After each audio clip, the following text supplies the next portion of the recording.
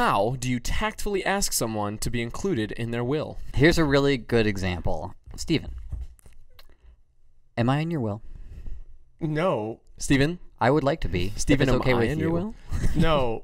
but maybe. uh, But now you said it. I'll throw in like five for you. It's like, Like a crisp $5 bill? like Thank five- you, thank you, Stephen. I appreciate Lance- that. Is how you tactfully ask to be included in a will. it's less about legal stuff, more about like that's a- personal. that's There, also there personal isn't really a tactful way to do that. I think because I like to ask with no back. when you're no background. when you're asking someone to be in your will, not only you're you're implying like one, I hope I survive you, I plan to outlive you. and two, so- and two, when you finally die, I would like some of your things. I've had an That's- on your stuff. That's a tough conversation to And spin appropriately. I Yeah. do think if there's like a specific like heirloom that you think is really cool, Yeah. I think the most you can do is make how much you appreciate that heirloom known, but it's still going to be a little. you have to lay that foundation. It's icky. It's icky. I, I think it's something where like if you really want something out of someone's estate, like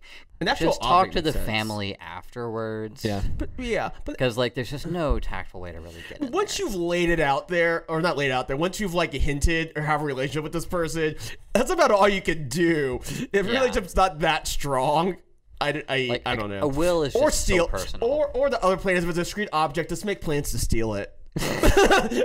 just if like the person is ill, you you offer to buy it from them, and Oh, then that's nice. you you transact it, and then you just don't. oh yeah, pay yeah. them. You can yeah you can buy it. And then you don't pay them, and they're like, "Hey, where's the money?" And then you just you just keep putting it off until they die. Oh we're gonna that. we're gonna improvise a little bit here. The concept is you're going to make a convincing case that doesn't paint you as an ethically terrible person, uh, and you're talking to someone trying to convince them to write you into their will. Sound good? Here we go. I'm gonna go first. Uh, hey, Grandma, I've been trying to start this business for a very long time. I love you so much. You're the best, and I know you've always supported me. I need half a million dollars for this business to really take off, and like I love you so much. You know I love you. You're the best. Uh, How do you think this is going? This feels like this feels like potential undue influence, Yeah. duress. no, no, no, no, no. Typically, asking someone f to be in the estate plan, if particularly if they're older or a vulnerable person, Yeah. creates the layout of already the successful objection to the will. Okay. Okay, so that's bad. That would that would be an objected will, and I actually, if she to- wrote the well, will, I wouldn't get it's much not money. Inherently bad, but it make it raises red flags. Yeah.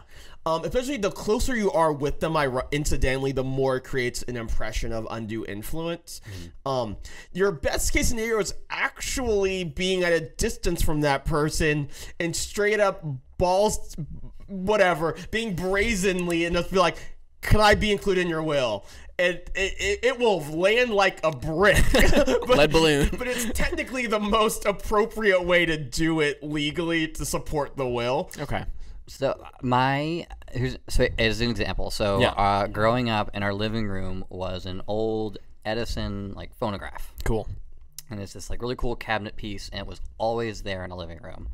My little brother loves it, Mm-hmm. so he actually like brought up to my mom. He's like, "Hey, I really like that Edison. You know, I, I know you're using it, but you know, eventually, if you're not using it, or if you decide you don't want it, um, let me know. Does I'd it be happy work? to take Does it. it? Is it like a? And this wasn't him trying to tell our mom, leave it to me in the will. Yeah. Um, but it was more just like, hey, if, if you're ever looking to get rid of that and you're not sure what you want to do with it, like, I- I'll take it. Guys, thank you so much for watching. If you enjoyed this, let us know. Guys, we created a PDF um, that explains all of the mistakes that you should avoid when thinking about planning your estate. James and Stephen wrote it. Um, it is filled with experiences of you know mistakes that we've seen people go through.